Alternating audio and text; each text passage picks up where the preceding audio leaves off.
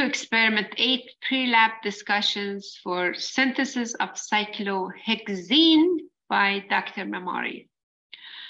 Uh, the purpose of this experiment is to, again, we're setting up distillation apparatus, so practice more with distillation apparatus.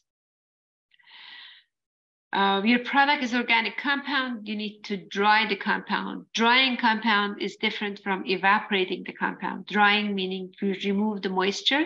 So in order to dry the compound, after you isolate, you just add drying agent to remove the moisture.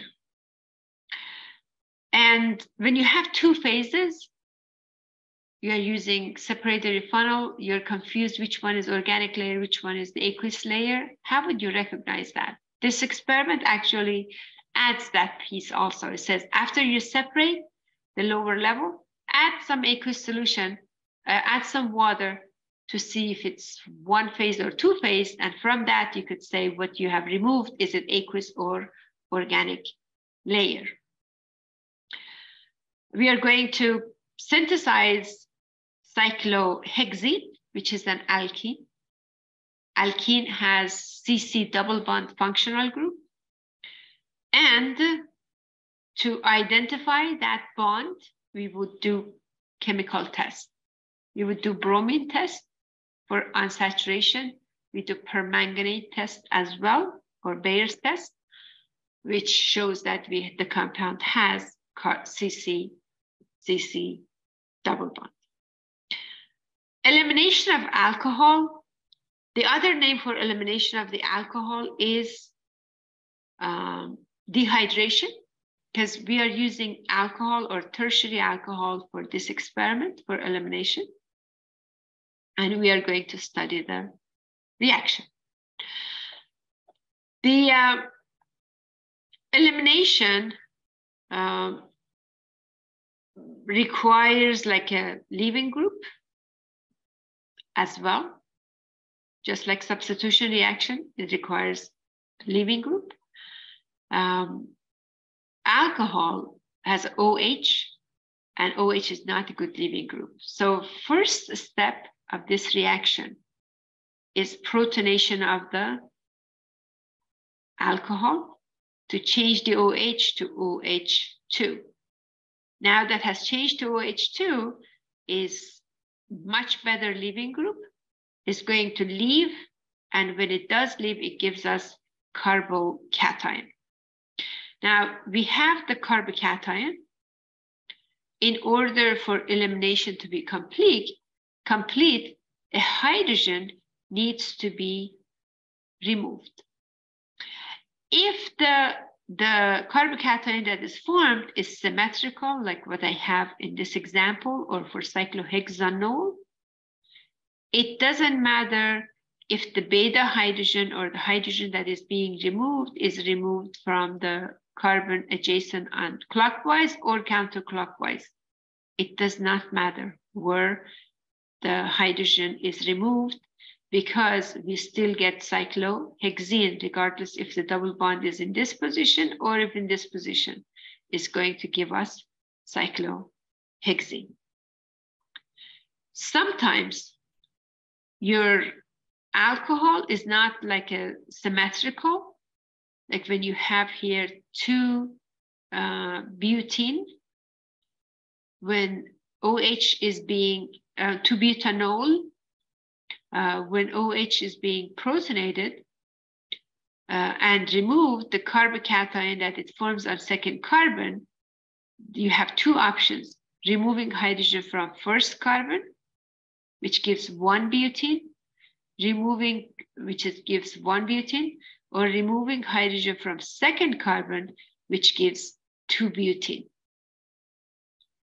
Now, when there is a competition or when there is a possibility of formation of two products, uh, we look at the stability of the product and based on stability of the product or Saytzeff rule, uh, 2-butene is more stable and specifically the trans 2-butene is more stable and that is going to be the major product. For today's experiment, or for this experiment, experiment eight, since we are using cyclohexanol, there is no major minor product, only one product will form. The other byproduct or possible byproduct is substitution product. For substitution, we need a good nucleophile and um, also um, the temperature control. Um, if we use high temperature, we would it would favor elimination. So the two factor that is helping us not to get substitution product or at least get less of the substitution product is that using a strong acid for protonation, this strong acid is going to yield very weak conjugate base, which is a very weak nucleophile. So if you have a weak nucleophile, the chance for um, substitution reaction is going to be lowered. Also, using high temperature is going to favor elimination. So we hope that we get only elimination product and not the substitution product. And we don't have a major minor product because it's symmetrical. If you look at the reaction for in the lab manual, I have the boiling point of the reactant and the product. The reactant, which is cyclohexanol, boils at 161, but the product at 83.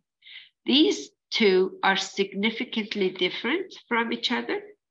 But to make sure, so if they're significantly different, we could use the uh, simple distillation, but to make sure that separation is going to be the, you know, most efficient, we are using fractional distillation. Because the product has lower boiling point compared to reactant, we can remove the product by distillation as it is forming, so the reversible reaction does not kick in either. And as soon as we uh, collect it, we are going to separate from the, um, you know, we are going to dry the sample, making sure that we add like drying agent to dry the sample to avoid reversible reaction, which is hydration of the of the uh, alkene that gives alcohol. So we are going to distill, uh, remove the product, and as we remove the product, we are going to then add some dehydrating agent, anhydrous agent to remove the water. The setup for fractional distillation, it is explained in experiment two, how to set up. The only difference here is that we are using ice bath.